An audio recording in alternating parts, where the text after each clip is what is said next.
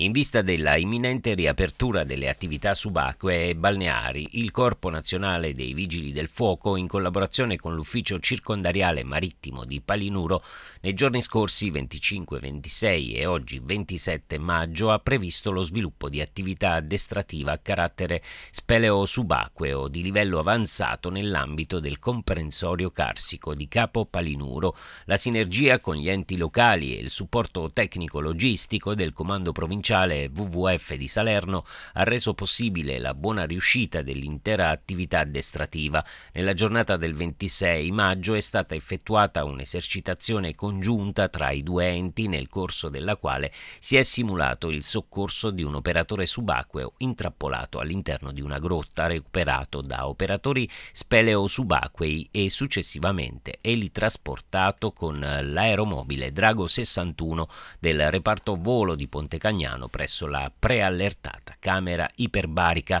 Esercitazioni come quella di ieri ha visto coinvolti mezzi nautici del WWF e del Corpo delle Capitanerie di Porto Guardia Costiera, nonché aeromobili, L'iniziativa si inserisce nell'ambito della pianificazione delle attività addestrative operata ogni anno dal personale di entrambi i corpi dello Stato, spiegano il funzionario addetto al servizio sommozzatori dell'ufficio contrasto rischio acquatico del WWF ed il comandante dell'ufficio circondariale marittimo di Palinuro e sono finalizzate a migliorare il livello di conoscenza reciproca delle capacità operative permettendo di implementare le procedure di attivazione in caso di incidente di sbaglio sbarico in ambiente ipogeo da mettere in atto nelle vere situazioni di emergenza, fronteggiando con prontezza la più ampia varietà possibile di eventi critici, nonché per affinare ulteriormente la sinergia tra gli operatori coinvolti nella gestione delle emergenze subacquee.